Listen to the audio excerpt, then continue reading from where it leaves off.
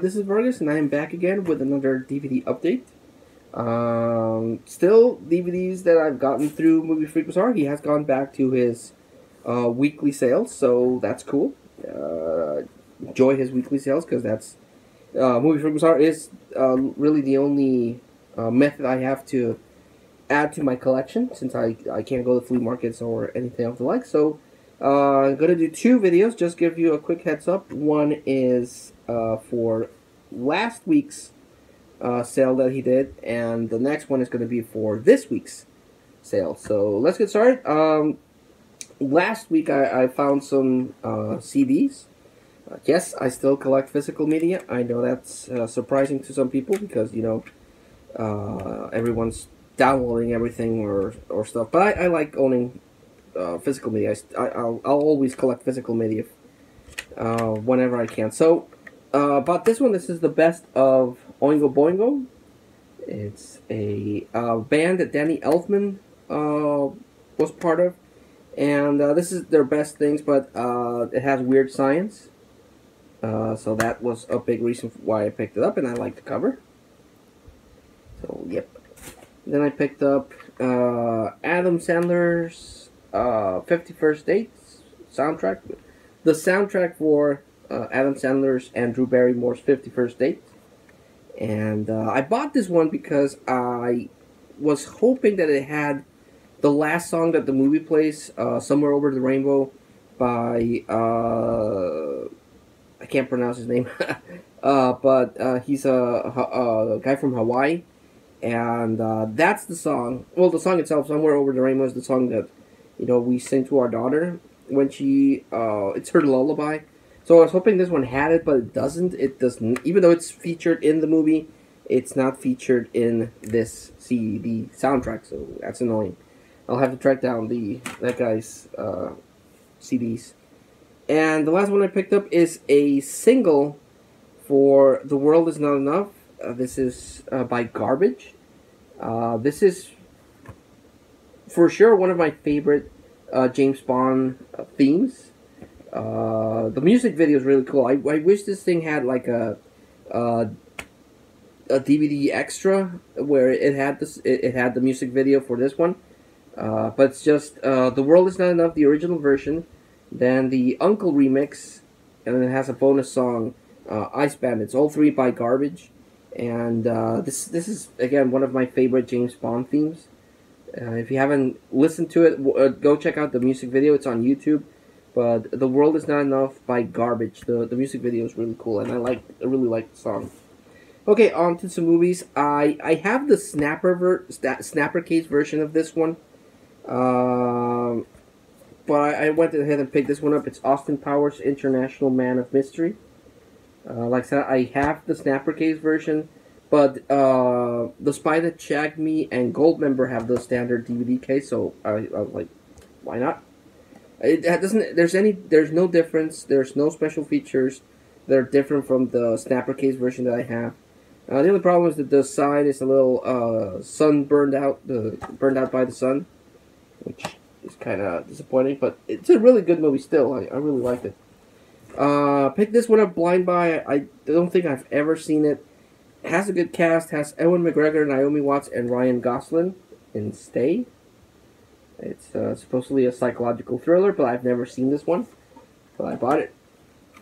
Uh, picked up the sequel. Now I have to track down the original one. Uh, Jack Reacher, Never Go Back. I know a lot of people don't like Tom Cruise, uh, but he's he's okay. He, he's a good actor, and uh, I remember liking the first Jack Reacher. I don't think I've seen the sequel, or maybe I've seen the sequel, and I have never seen the original one because I don't know. I have to rewatch this. I think this is the one I saw because they has Robin from uh, and Marie Hill from uh, Robin from How I Met Your Mother and Marie Hill from Agents. Uh, I'm sorry, from the Avengers movies. So maybe this is the one I saw. I don't remember. Um, I always skip on this one but I finally decided to pick it up. Directed by Paul Thomas Anderson, starring Daniel Day Lewis, There Will Be Blood. Uh, it comes in this uh, cardboard set, but it's the two disc uh, collector's edition. There's a little something there, and uh, it has the two discs there. The packaging is cool, but it's cardboard, and that's always flimsy. Uh, Futurama did had the same thing where they had cardboard packages, and they were also damaged. But I can put these on a, a one of those thin uh, DVD cases that I have, and it'll sturdy it up a bit. But yeah, I always skip on that movie, and finally found the two disc collector's edition. So cool. Uh, also, I always skip on this one, but decided to finally get it because uh, it's directed by uh, Joel Schumacher, and uh, Joel Schumacher passed away a couple of uh, weeks ago. So, at least by the time I'm recording this, so when that usually happens, when the director or an actor uh, passes away, their their work or their movie certainly uh, garner interest, and then it gets hard to find. But I picked up the client uh, it's a uh, uh, court drama that I I just uh, always skipped on. Dramas aren't really my favorite genre, but um, I, I picked this one up because I own it, and he had it, and you know it's again directed by Joel Schumacher. And that's the thing about Joe Schumacher. Everyone remembers him uh, from the Batman movies, but he did a lot of really good movies. He he was a really diverse act uh, director. I'm sorry, because he would direct uh, a whole different bunch of genres. Uh, so he was a good director, despite you know the missteppings of Batman and Robin. But that's more studio interference, I feel. Uh, picked this one up, bl- another blind buy. I've never seen it. Didn't even know about this one, but it's National Lampoon's Movie Madness. Uh, have no idea what this is about. Uh, just picked it up because uh, it's National Lampoon, and uh, sometimes it's hit or miss. Uh, Vacation is awesome, but there's some spoofs that they did that were hit or miss. Another one I always skip on because I, I always come across the full screen version. And this time Movie Freak Bazaar had it, and it's the widescreen version, so that's why I, I, finally went ahead and picked it up. Uh, by Ivan Reitman Evolution, which is basically a sci fi version of Ghostbusters. But never come across the widescreen. Always see the full screen, and that bugs me, so finally got it. Also, finally got this one. I was holding out to see if they made a uh, better version with a little bit more special features, but it only has an audio commentary and a short uh, featurette. But this is the sequel to Wall Street. Wall Street Never Sleeps, with uh, Shia LaBeouf and Michael Douglas. But picked that one up finally. And I picked up Gone with Amanda Seyfried.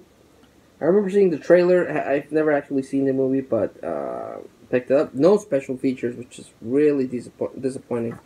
Doesn't say it's a rental exclusive, but usually when a movie doesn't have any special features because the movie's either not that good, so they didn't bother to add any special features, or it's a rental. Uh, usually, Blockbuster would do that a lot. That they would only have uh, rental exclusives, and it would say rental on the bottom, and it had no special features, just so you can watch the movie. That always bugged me, and I avoid those versions like the plague. Because I don't like movies that don't have special features. It doesn't even have the trailer, which also really bugs me. Uh, I think I've mentioned that before. If you're gonna release your movie on DVD or Blu-ray, at least have the trailer as a special feature because it's part of the movie's history, and not having that uh, sort of cheapens the release. So that's disappointing. And the last one I picked up that week uh, is a repeat uh, with Sean Connery, The League of Extraordinary Gentlemen, but the widescreen version. Um, I, am doing this with a lot of movies that I own. That I uh, I've come across the, the full screen version because way back in the day when I started collecting DVDs, I had a little uh, TV uh, and I plugged it on my DVD, and I would usually get the full screen because it would uh, make the image look good. When I would buy widescreens, uh, the image would kind of get cropped and uh, on my TV it, it, it, didn't look good. But now that you know everyone has HD TVs and everything, uh, full screens kind of it's it's weird. I'll have to do a video on it, but uh, I'm upgrading all my full screen version movies into widescreen version they look better on the big screen TV. So. Uh, I have the full screen of League of Extraordinary Gentlemen, and I wanted to get the the widescreen and uh, it's a good movie. I, a lot of people dump on this one, and you know, Sean Connery said that this is the movie that made him decide to retire from making movies. But I really, really like League of Extraordinary Gentlemen. I thought it was pretty cool. So, like always, I like to recommend the, the standouts of the collection. A lot of blind buys.